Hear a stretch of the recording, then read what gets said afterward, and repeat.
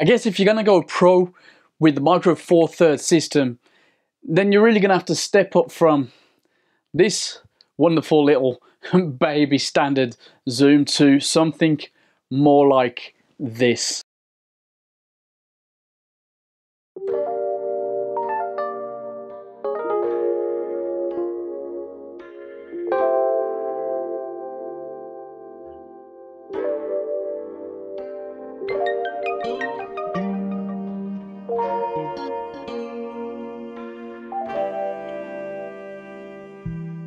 The lens is metal, weather sealed, weighs only 305 grams. It's got a 35 mil equivalent of 24 to 70 f2.8 to f22 throughout. Manual focus ring, not too bad.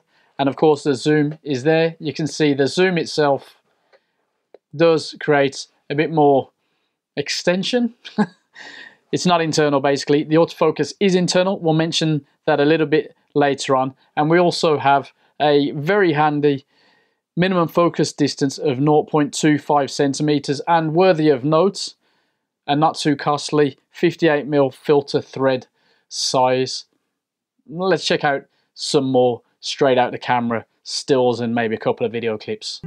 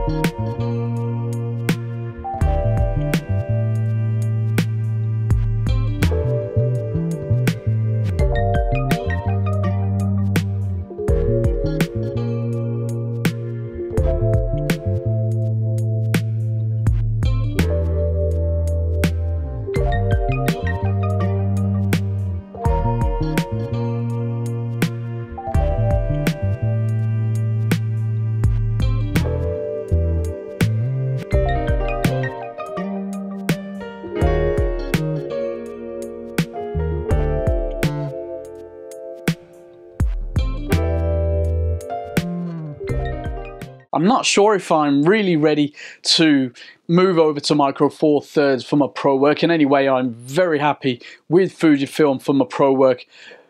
But this lens turned out to actually be really nice, as I expected. It really wouldn't be a hassle to shoot this alongside the 35 to 100 f2.8 that we looked at before. And that could be a real nice combo for pro work with this system. The lens feels solid. I've got that advantage of the dual IS with the Panasonic body that I own. So you can easily handheld this at fairly low shutter speeds if need be.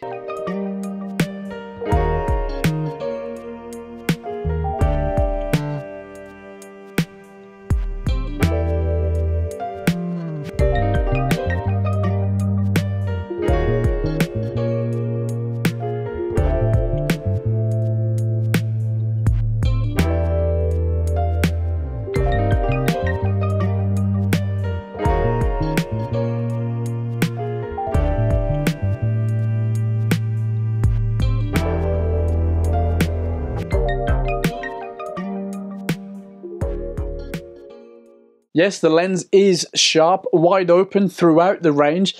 Naturally, as you go past f16 in this case, it can weaken a little bit. But for me, my kind of work, not an issue. At the wide end, there is some minor chromatic aberrations, but zoom in and that disappears and it's pretty much the same situation when it comes to distortion and vignetting so let's just leave that there. As with the other Panasonic lens the autofocus is swift, it's accurate, maybe the only weak point for you would be the fact that there's no manual focus switch so if you're into flicking between the two different modes you're going to have to do that via the body but I'm more than happy with it as it is. The image quality naturally is a winner. There's nothing magical about it, and I think that's usually the case with a standard pro zoom. This is a workhorse of a lens, even down to that solid metallic build, the weather sealing, it just works and gets the job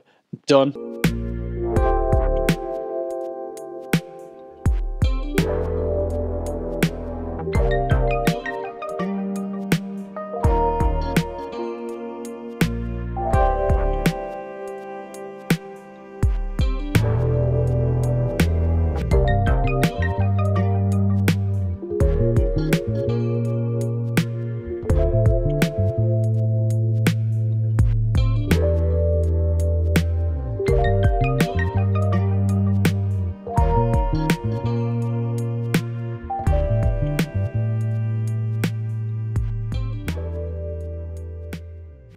Of course, we did try the Olympus 12 to 40 f2.8 Pro, which, other than the previous version, may be your alternative. For me, I'd go with this version purely because I'm using the Panasonic body and I get that dual IS. So for whatever the Olympus version offers, this one is fine for me, but they both do a fantastic job.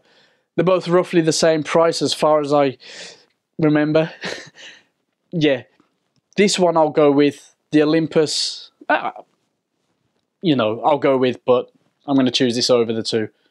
Or the three, because this one just a little bit better than the previous model. But if you can get the previous model at a bargain price, I don't think you'd be disappointed. Big thanks to Wex in Birmingham for the loaner.